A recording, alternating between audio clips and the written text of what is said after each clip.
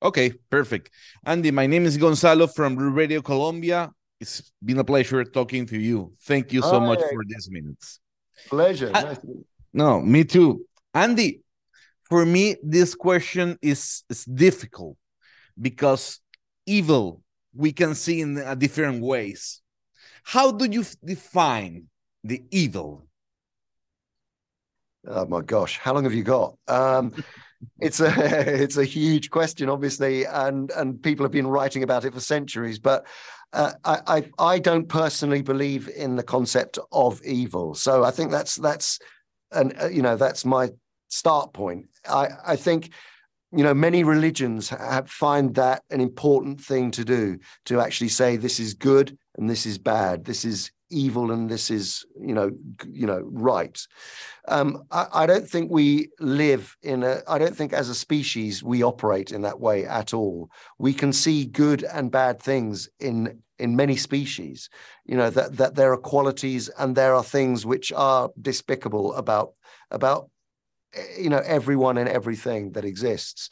Um, so so and it's about, I suppose, creating when you're working on a character like David Robey in this in this story, it's it's creating this particular moral framework and and seeing the world from that moral framework's point of view.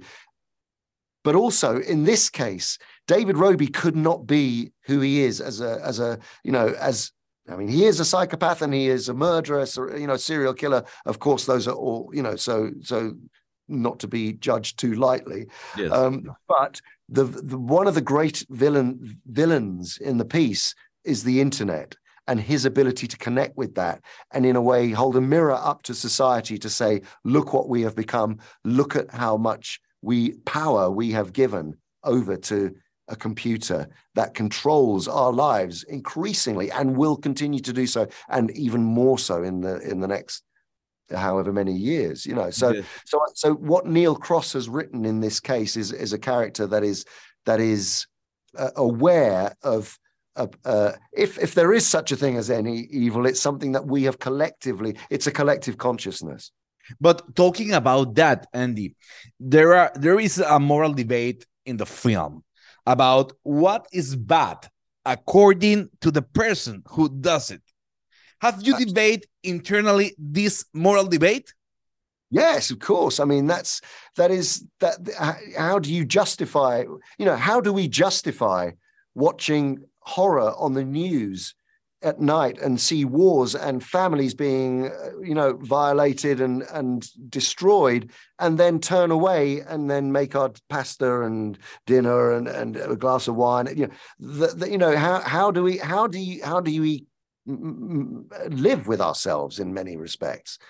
Um, and then when you when you start to think about the internet and and what that is doing to us and to how we are desensitized, you know, when we drive past a, a, a crash on the on the freeway, and you know we we we want to look and we want to see what's happened. What is that in our psyches that makes us want to do that? So I think I think uh, uh it's very healthy to question one's darker side you know, and the fact that we're, you know, and to ask ourselves who we are when when when nobody's watching. That's that's when you know that's that's the point. I think. Wow.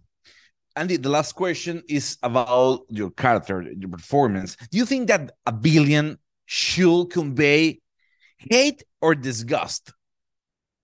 Oh, wow, these are good questions. Um, I, I, think if you start to well, I would say that that if you hate a character, I mean, it's I think it's good if a character, uh, you know, in a safe environment like a movie, where you know, which is why the transformative power of storytelling through cinema and and uh, you know is so necessary in the world. That, uh, well, for, and has always been part of the human condition. Storytelling yeah. to to allow us to feel and think things and see things without actually experiencing them, the horror of them you know, I, I think I think it's really really important that that we um, that we that we are made to think, that we are made to question and continually continually question um, all of these moral debates. That there is no answer that stays still. That that the question keeps going on.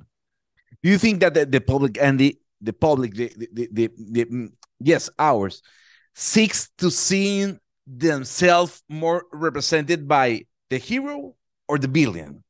Ooh. Um, I think everyone would like to think that they're the hero, but I think the brave amongst us look at the dark side of ourselves and know that that's, you know, it, yeah. that, that, that uh, we we have to be honest with ourselves and look at uh, and look at our dark the dark side of ourselves, and that's why that's why you know re- religion is a difficult thing because religion you know, draws a line, and there is no line to be drawn, in my in my view.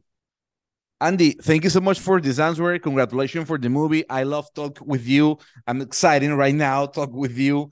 And now, thank you so much for the, your uh, answering me this question well, and for talking with the people in Colombia. Thank you so much, and thank you for your great questions. Really, yeah. really interesting.